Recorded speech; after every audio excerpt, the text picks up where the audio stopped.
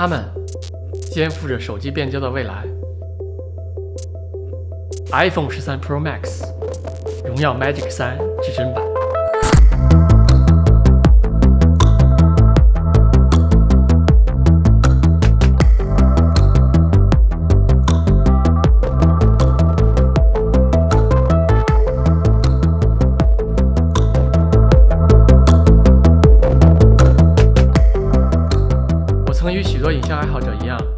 手机镜头有两个偏见：一是认为手机拍视频是无法实现大光圈镜头那种虚化，但今年 iPhone 十三告诉大家，计算摄影也可以实现相近的效果，只不过刚开始的算力只能维持 1080p 三十帧的视频格式。第二个偏见是关于手机的连续变焦。我们知道，相机镜头通过光学镜组实现的连续变焦，在各个焦段上都不会出现明显的画质下降。但手机却只配备了三个定焦镜头，它的变焦是通过数码裁切实现，比如一倍到三倍之间都是主摄裁切，画质一定会受损。在以前的我看来，手机拍照只有三个固定档位可用，其他中间的变焦档位拍出的画质不够看。直到体验了这两台手机，我才发现自己又被打脸。真正让我改变想法的是这两台手机的灵魂——两个融合算法。苹果的深度融合与荣耀的多摄融合，它们的作用都是让你可以更自由的变焦构图，又或者是后期的裁切放大，不必总是牵挂着画质。当然，也不要妄想着一蹴而就，融合算法确实有开辟性的改进，但也有很多限制和不足。这期节目，我们就对比一下两台手机的实际表现。首先，磨刀不误砍柴工。我们有必要了解一下两台手机的融合逻辑。iPhone 的深度融合是 HDR 多帧合成的升级版，按下快门的一瞬间，快速的拍摄九张不同曝光的照片，然后在逐个像素上挑选最佳的成像点，把九张照片合为一张照片，最终成像呢会比单张照片更锐利。深度融合依赖的是计算的速度，而多摄融合则是另一种思路，合作。既然手机有多个定焦镜头，那就让它们协同工作。协作的方式呢有三种，比如在零点六倍到一倍焦段下触发的超广角和主摄的融合，由素质更好的主摄来辅佐中心位置的成像；二倍到三点五倍触发的中长焦融合也是同样的道理。此外，还有高像素模式下黑白摄像头和主摄的融合，也可以提升整体画面的光影细节。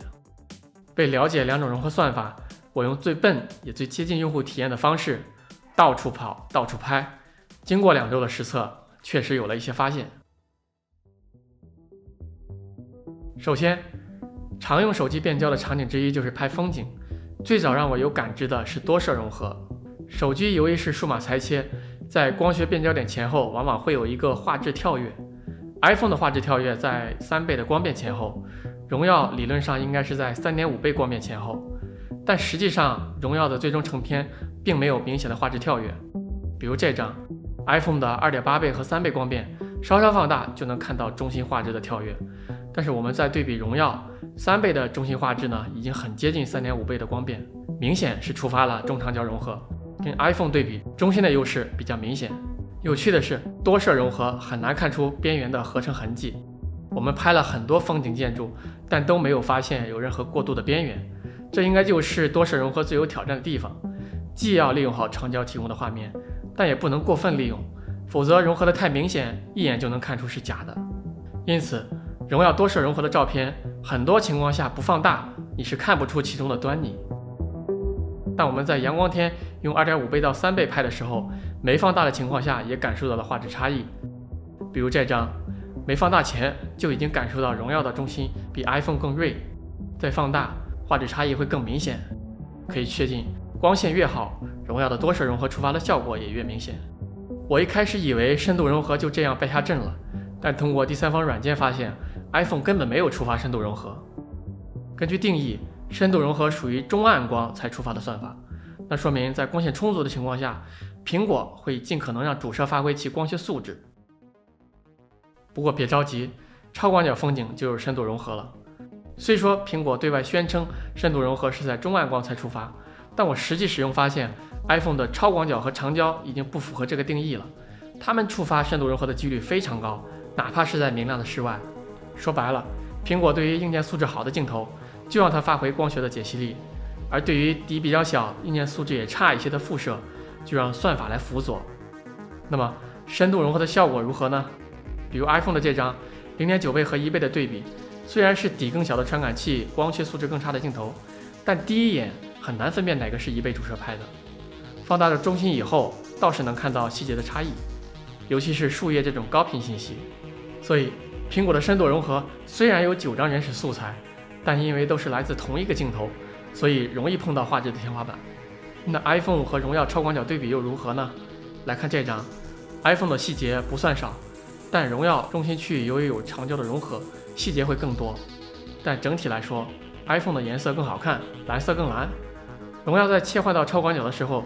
白平衡会突然偏黄。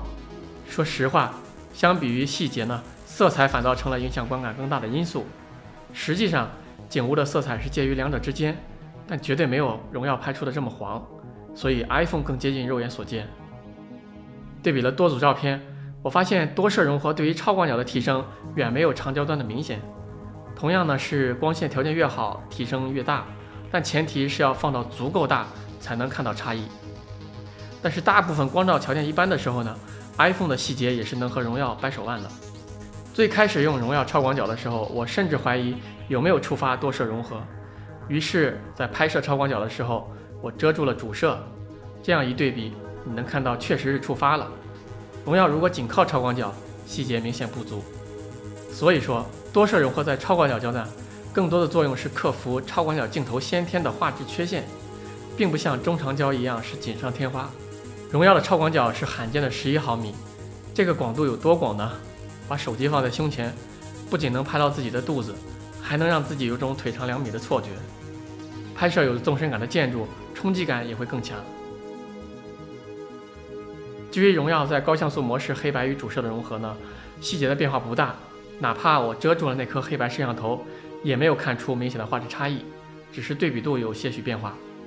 跟 iPhone 主摄相比，细节没有拉开差距。依然是色彩成为了主要影响因素。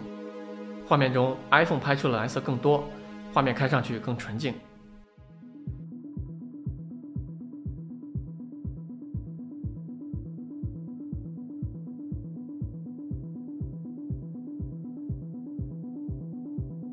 拍了很多风景照之后，我逐渐意识到一点：算法再强，也要受镜头光学素质的限制。手机镜头小小一颗，解析力十分有限。以前手机厂商应对解析力不足，是通过锐化加降噪，画面整体的解析力有了，但放大以后细节涂抹感严重，所以手机镜头一直以来都不太适合拍很小的细节。即便现在有融合算法，也只能说让锐化的痕迹减轻，看上去稍自然。所以，如果我们让手机拍摄近距离纹理明显的物体，融合算法带来的提升是不是会更明显呢？首先是正常手持的距离，这张枯叶荣耀拍出的细节更多，而且树叶黄色看起来更浓郁，这是因为荣耀保留了更多的阴影，iPhone 则把阴影都提亮，导致画面看起来更亮，但黄色被提亮后色相也有点偏了。再看这个蓝白色的毛衣，iPhone 同样以提亮暗部的方式，蓝色在提亮以后更明快，配合着深度融合的细节，第一眼看上去很讨喜，荣耀的看上去则有点素了。至于细节，毛衣显然非常对深度融合的胃口，跟荣耀对比，感觉旗鼓相当。至于拍摄皮革以及茶杯这种纹理较小的物体，放大到极致也是能看到荣耀记录的细节颗粒度更小，但整体画面的观感呢，两者没有明显区别。另外，今年手机影像一大卖点是微距摄影，iPhone 可以拍得非常近，趣味性很强，但由于是超广角裁切。太近的时候，光线会被机身挡住，噪点有些明显。荣耀虽然距离没那么近，但由于是硬件素质最高的主摄裁切所得，画质会稍好。一句话总结微距功能：iPhone 更好玩，荣耀成片可用率更高。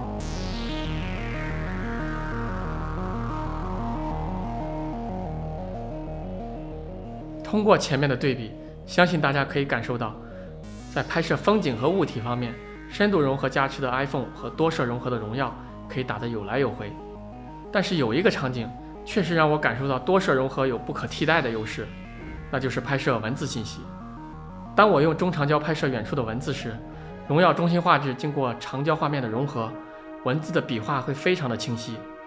iPhone 在一倍到三倍之间依旧没有触发深度融合，可以代表手机数码变焦的普遍效果作为参考。还有一种情况是用超广角记录文字信息，这组对比，iPhone 触发了深度融合，整体表现不错，白色大字都清晰的记录下来。但是放大后，你能看到红色的小字有区别。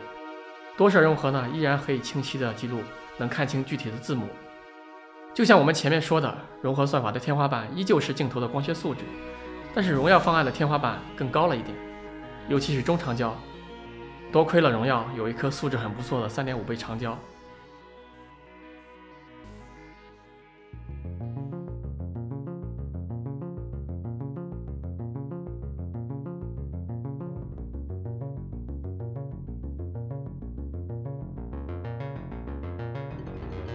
在没有体验这两台手机前，我曾幻想着手机可以塞进更多镜片，实现相机一样的光学变焦。但现在，我认为那很可能不会发生。